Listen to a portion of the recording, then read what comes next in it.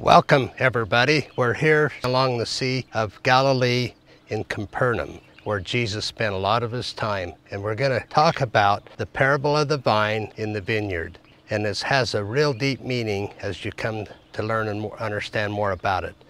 The vine represents how we are as part of being connected to the Savior.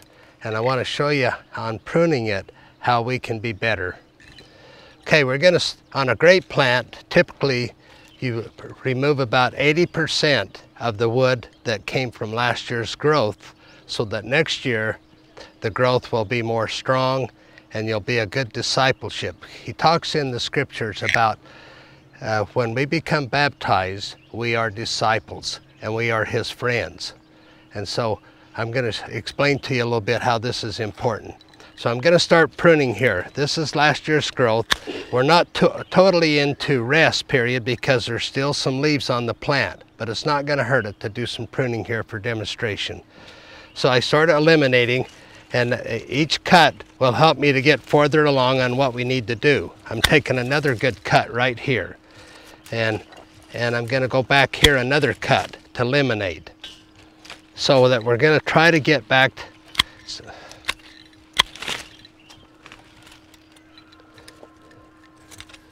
I'm gonna leave right there. And you'll see right here, I've left a, a, spur here, which is for next, this coming season to grow a really good cane. It's got one or two buds here and the growth will come from that.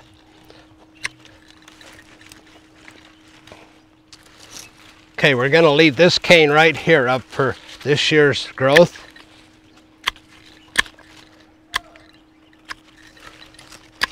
And we've got about one, two, three, four, five, six, seven, eight, nine buds there. Which if you leave too many buds, it's too hard for the plant to be healthy. So we're gonna cut uh, this one here back like that. We've got a couple of them here already that we're leaving. And then we're gonna come back in here and cut some more out. We've eliminated there.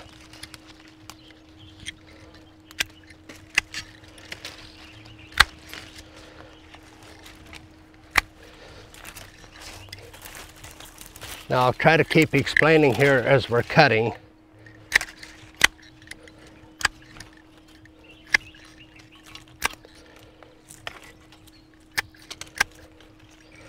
Then sometimes after you make a lot of cuts here, you come back and you do your last go through so you eliminate it down to about where you need it.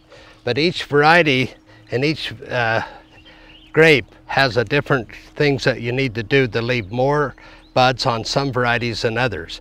This one here is one called Capernaum, which is, uh, no, not Capernaum, Alexandra is what they told me it was, and it's supposed to be a real choice grape plant. But anyway, okay, you see here on the main part, this is an important part to understand. This is the main trunk, and this is what we call the vine, which is representing the Savior. And so that when we prune, we bring all the pruning back so it's connected closer to the main trunk or the vine, and then the production will be more productive. And because it's closer to the vine, and it tells us in the scriptures, he says, I will purge and bless you if and that's the way he does that. When we're closer to the vine, he can purge and bless us. Uh, Jesus said in John chapter 15, I am the vine and you are the branches. Members of the church who have joined and been baptized are the branches. And so for you to be productive, you've got to stay close to the vine, which represents the Savior. If we get farther and farther away from Him, our lives will be less productive. And so the key to this each year, and it represents the plant needs to be pruned to get us back closer to the vine. And that way we stay productive. If we let a season go, and that means that we're not staying doing the things to be close to the Savior, we're getting farther and farther away, and we're getting closer to the chance of being disconnected and, and gone. And it really ties into the parable of the ten virgins, as you understand that. We have to constantly keep coming and uh, gravitating back to the vine to be close. So we're going to prune some more and more here so that we can see what we can look at closer. Okay, I'm going to make one big cut here and take all of this off.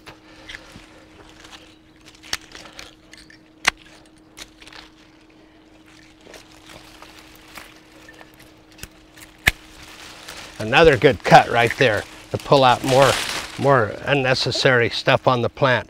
Now along this here cordon here, we have a place here where uh, I'm going to prune out all these spots here like this. We're taking away uh,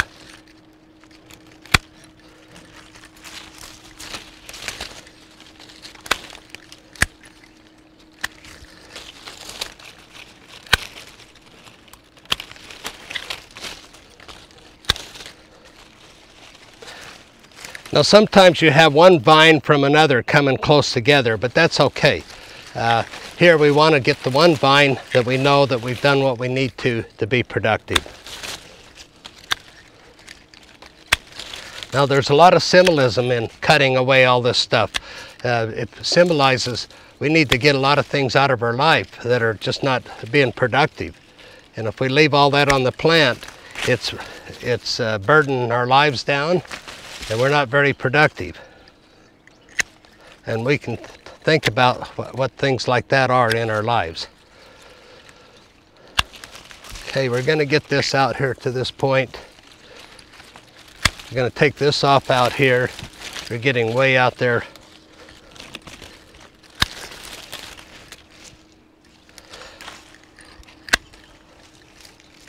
Now we bring this up and you can use the the trellis here is provided for this to have something to go on.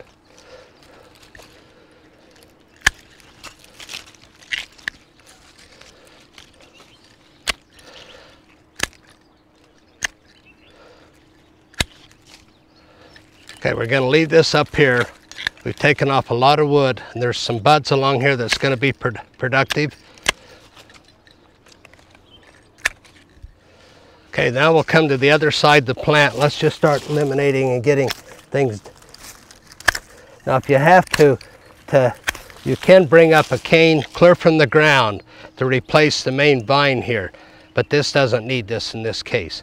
So we're going to switch over here and get to where you can see how much that's spread out. These canes right here are really going to be productive. They're pencil size and the nodes, the buds are close together. That's good. And there's one there, one here, and probably in the end we'll come back and take some more out. But here we got to uh, work to get the right canes that we want. So we're gonna, okay, let's uh,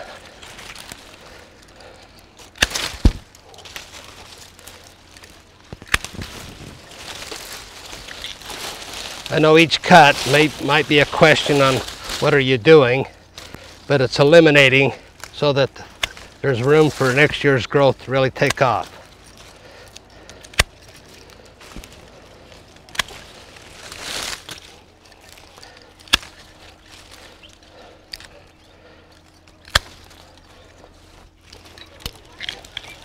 Okay, this cane here is getting really out here a long ways but but it's okay. Uh, we're going to end it right in here so that this here can come up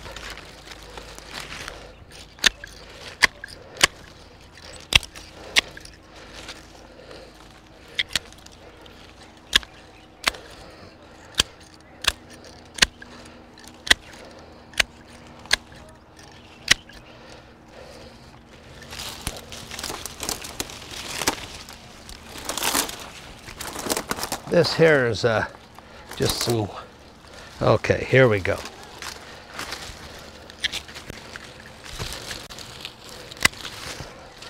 This is a little early in the pruning stage because we're not fully dormant, but it's going to be okay for understanding here what's going on.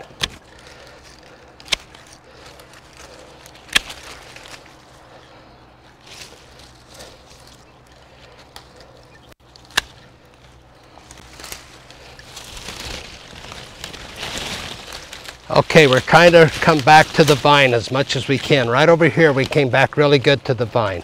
We got to do that here on this side here too. So right here, we're gonna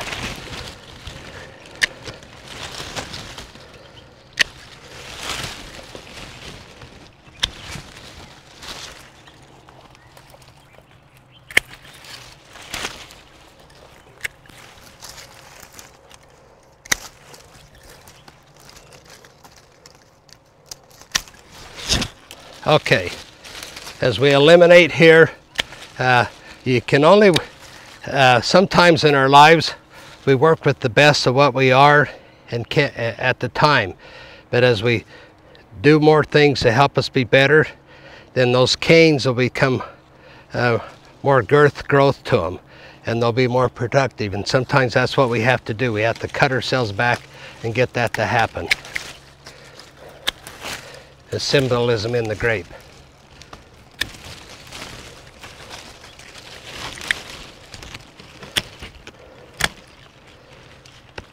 If you leave too many productive buds on the grape plant in a season, then the, the, clusters will be small, puny, and not very productive, very good.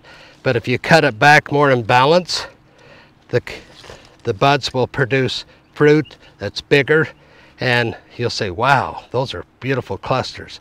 And that's symbolism.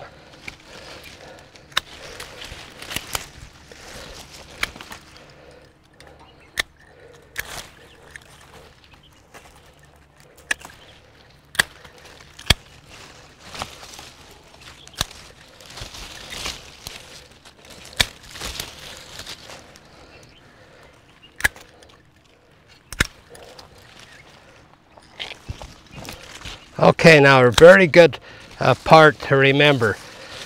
We have to come back and renew. And to do that the best, we have to have a good bud that we depend on to produce a strong cane the next year.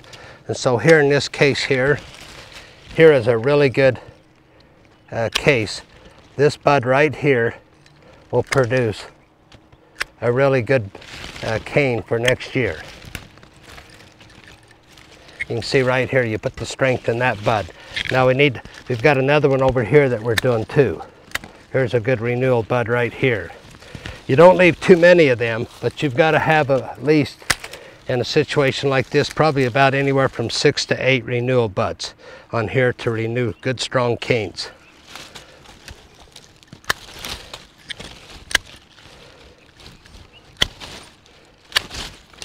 There's another renewal bud here, getting back close to the vine.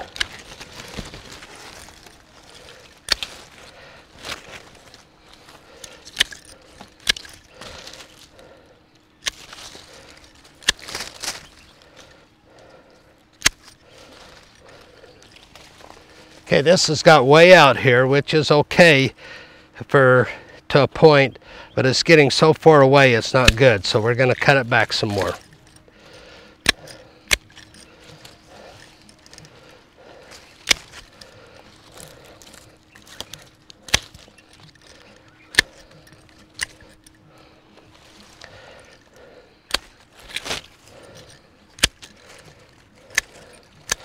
These canes should be more uh, girth to them, but a hard pruning this year will make that happen for next year.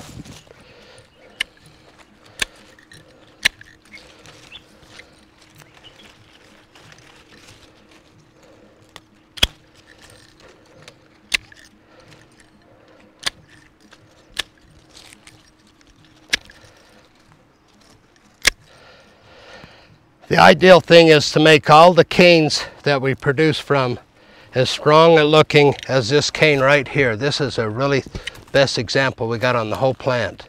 See that cane right there?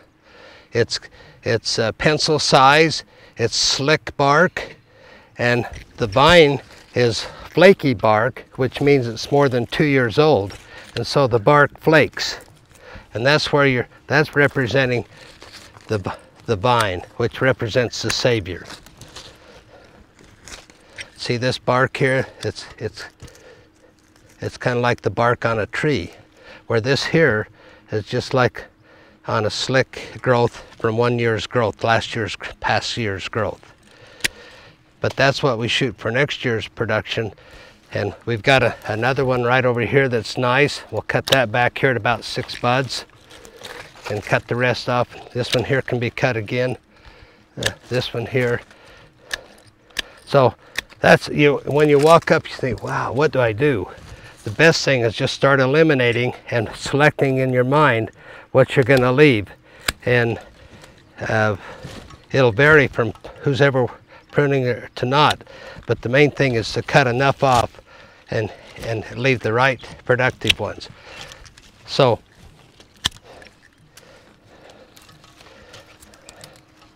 let's see, let's go down here. This is coming down below where we've got good trellis, so we're gonna cut that off and leave uh, this here has a chance here to produce from down low close to the vine. And you can make it come right out of the vine by cutting in really close if you have to at times. But we haven't had to do that this time. Uh, there's dormant buds that lay dormant in in the bark there. As we come back here and look at the vine, as we have pruned it, there's maybe questions that arise. But the reason we have to sharply prune it and do it in the seasonal time we can't let it go. It's like in our lives. When we need to do something, we need to do it. And the vine has to be constantly done each year. But the interesting thing is, is as described, he says, you become your, my disciples when you are baptized. And so we become connected to the Savior. And we can do many things to disconnect ourselves from the Savior if we're not careful. We have to continually do what we need to to stay strongly connected. And the best way we can stay strongly connected is to prune yearly or assess our lives yearly, take out the things that aren't good, and make our uh, being connected to the Savior more productive. Now that is a whole host of things that we can talk about. But if you understand here what we've done to the grape plant, we've simplified it. We've made it so that where it's going to produce fruit is going to be bigger fruit. It's going to be more productive.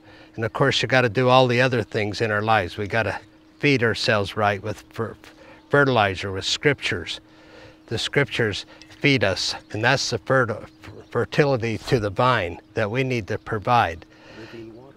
And water. Living water. Living water, yes, very well. All those things are, are necessary. So the, the Savior said in there, I will bless and purge your life. What is purge? It's get rid of the bad things out of you, to help get rid of it. We all struggle with things that we don't like that's going on, and so we have to continually petition the Lord. But if we'll come back, gravitate all the time back to the vine, and of course, when we are pruning, that's a one time that in the year, or the season, that you come back and position yourself close to the vine. If you let a grape plant, if you've looked at one that's been neglected for several years, especially more than two years, it looks like a rat's nest. And our lives can be represented in that way. If we haven't done anything good and, and not uh, doing all the things we should do, but some of the things that how we can renew back to the vine is the sacrament table, uh, monthly, weekly, and as often as we can. Uh, going to the temple is renewing our covenants. We could go on with a list, a list, and a list. But you think that's by chance that that renewal, as it's a viticulture description on pruning grapes that has been used for, for centuries? I think it's classic to come back and point, uh, start a renewal spot for the next season is you have to come back and renew constantly and it represents the covenants and that that we've made at baptism. And of course, it's a step by step. We don't make all the covenants just at baptism. But as we add to that, we have all these things that we need to constantly renew, constantly, or we'll won't have it in our in our uh, disposition or makeup of what we're doing, how we should be living. Okay, the parable of the vine and the vineyard is really important because the vineyard, uh, the caretaker of that, uh, over the vineyard is God the Father. But the Savior represents the vine, which represent, he's representing each of us because His atonement applies to each of us. And so, what's so good about that, we all are part of being blessed from what the Savior has done. When He died on the cross and the atonement has helped us, if we continually repent of what we need to all the time, that brings us back closer to the vine and He can bless us that way. And so that's a, a, such an important part uh, where the Savior is helping each one of us. We could ha have our spot on each vine that we are part of and can be blessed.